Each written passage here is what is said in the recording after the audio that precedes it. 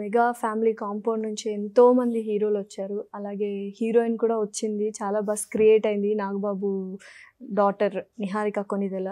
So కానీ ఎందుకో సినిమాలు ఆడలేదు. లేకపోతే మెగా ఫ్యామిలీనే ఇటు హీరోయిన్గా ఎంకరేజ్ చేసినట్టే చేసి తొక్కేసే ప్రయత్నం చేశారని కూడా చాలా విన్నాము.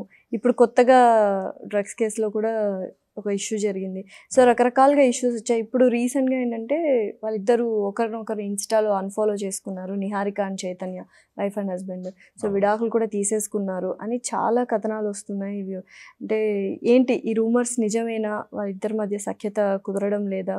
మిస్అండర్స్టాండింగ్స్ ఎక్కువైపోయాయా? మొదటి నుంచి తను వార్తల్లో నిలుస్తూనే ఉంది.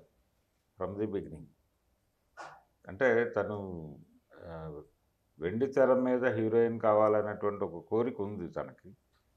అది నడవలేదు. ఒక ప్రయత్నం చేసింది తను. సో వరుసగా బ్యాక్ టు బ్యాక్. ఫ్లాప్స్ అవ్వడం వల్ల ఇంకా అది వర్కౌట్ అవ్వలేదు. దాంతో ఆవిడ అంటే సైరాలో కూడా యాక్ట్ చేసింది తను. సైరాలో కూడా చిన్న పాత్రలో కనిపిస్తుంది. ఇక ఆ జర్నీని ముగించి వైవాహిక జీవితం వైపు అమ్మాయి ట్ర- టర్న్ తీసుకుందని అందరూ అనుకున్నారు బలంగా.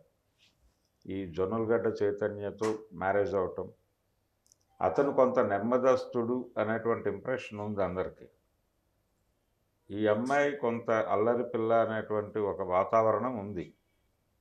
వీళ్ళిద్దరూ ఎలా ప్రయాణిస్తారు అనేది వీళ్ళ పెళ్ళైనటువంటి రోజు నుంచి రకరకాల చర్చలు జరుగుతున్నాయి బయట.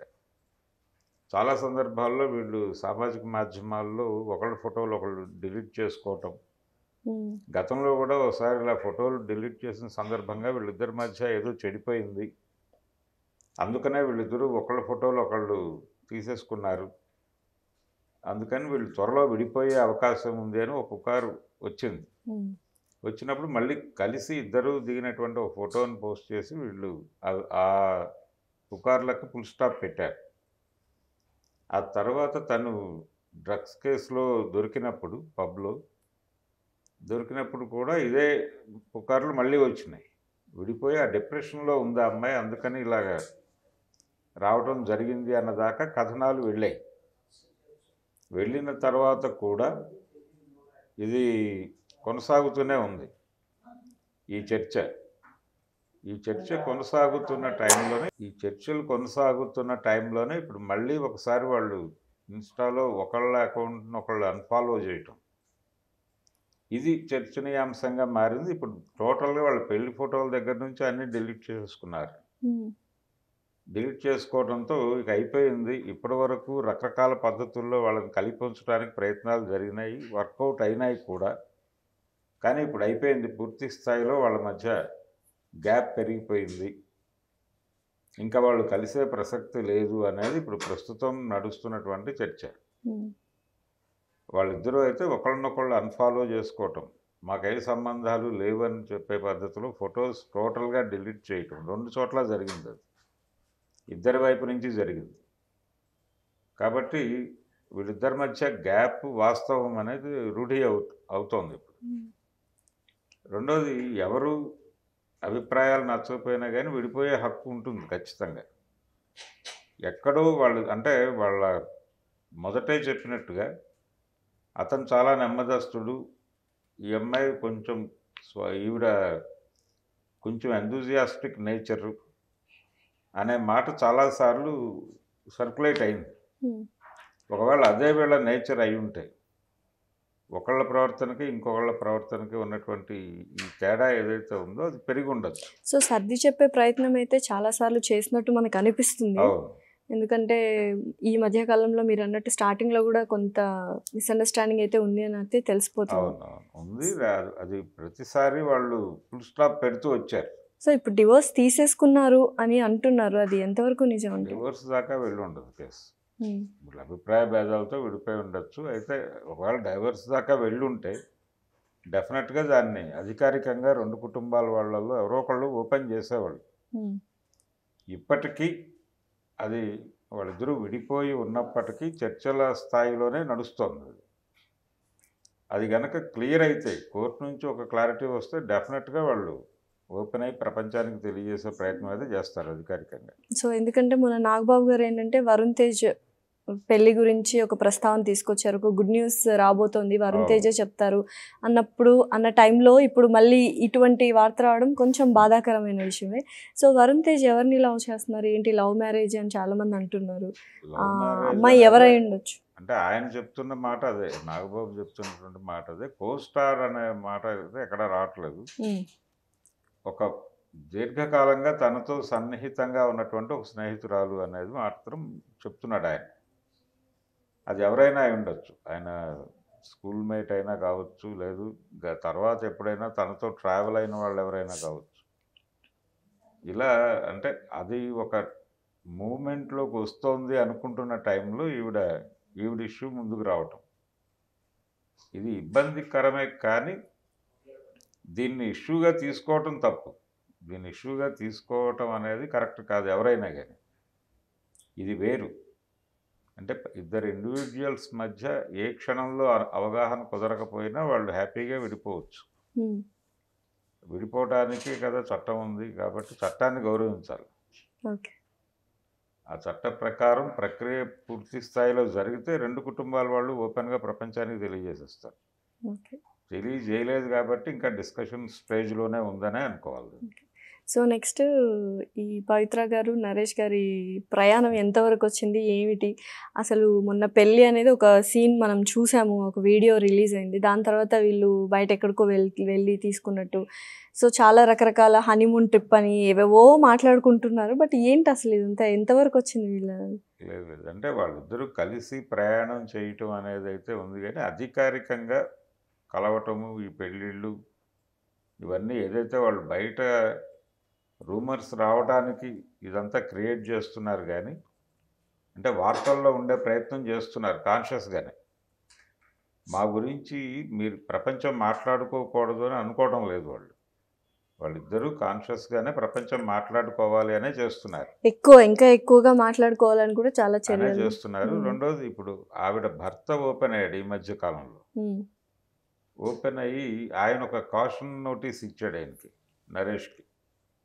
అతను ఏమంటాడంటే తను చాలా అంటే డబ్బులకి ప్రాధాన్యత ఇచ్చేటువంటి మనిషి.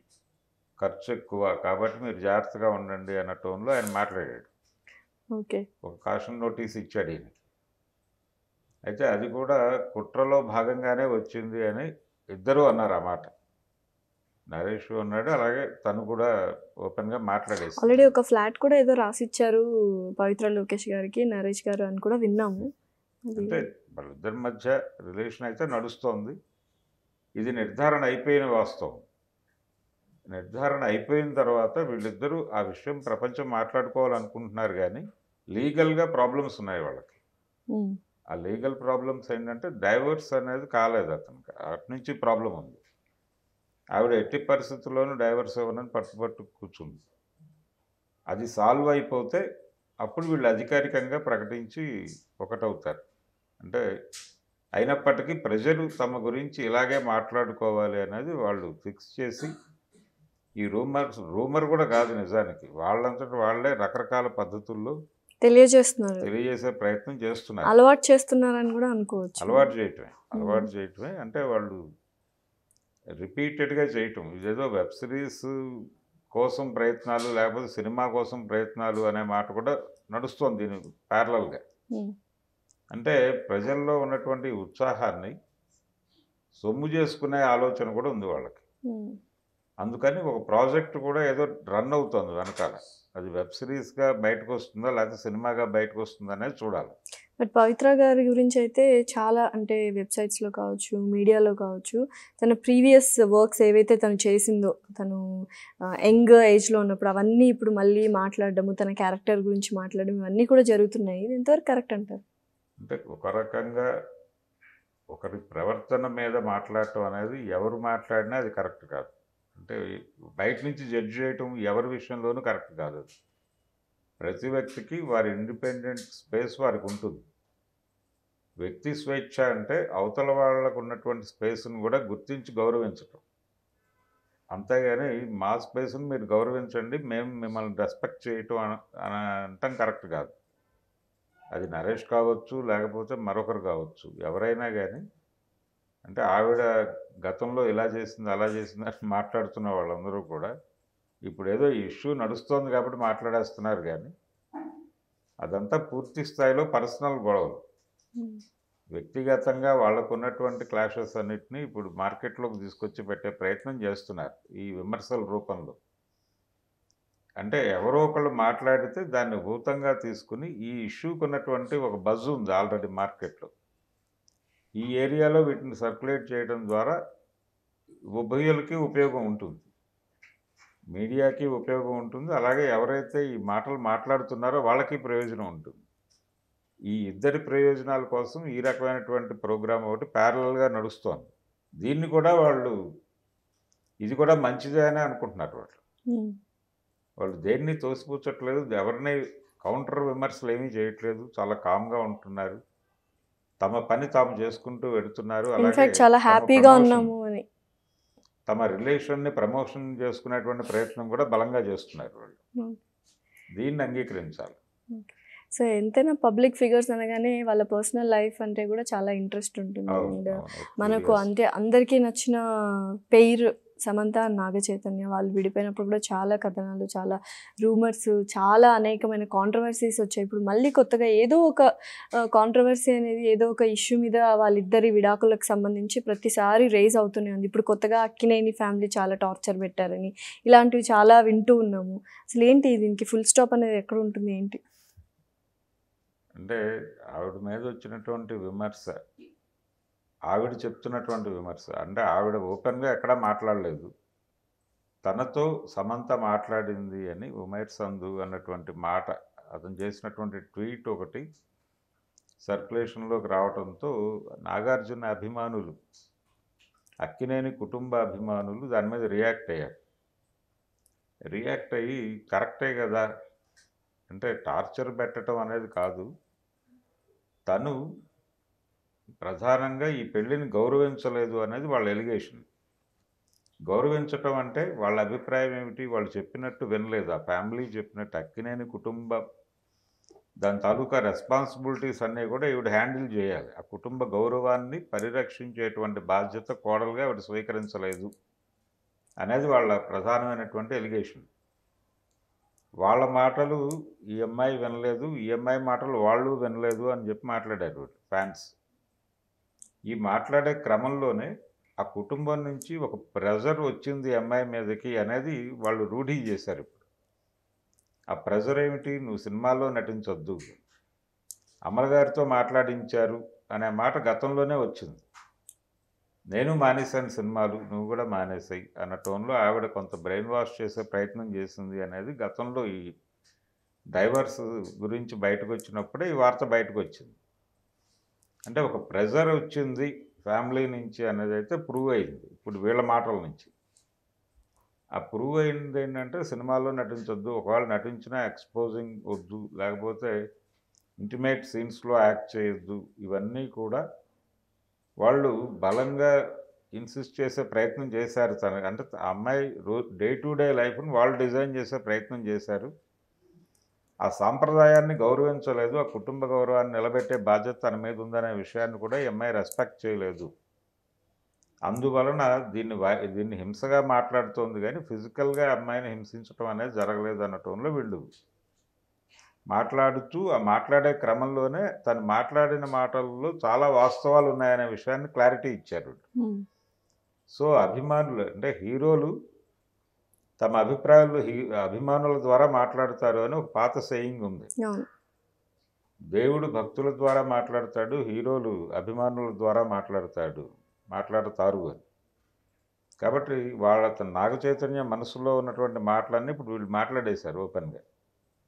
ఈ మాటలను అనలైజ్ చేస్తే ఖచ్చితంగా ఒక రకమైన ప్రెజర్ నడిచింది ఆవిడ మీద అనేది మనకి రూఢి అవుతుంది.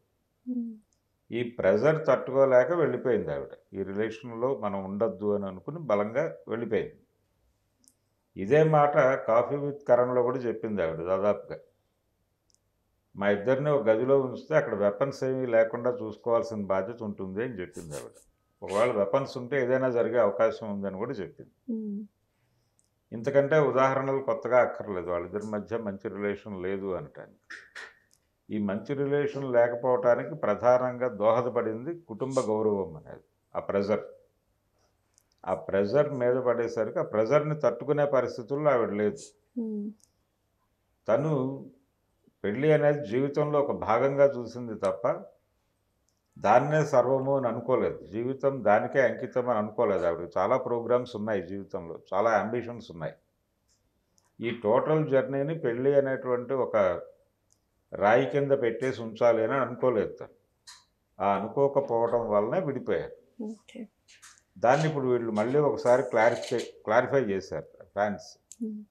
కాబట్టి దాన్ని అంగీకరించాలి ఇప్పుడు okay sir. Thank you so much. Thank you.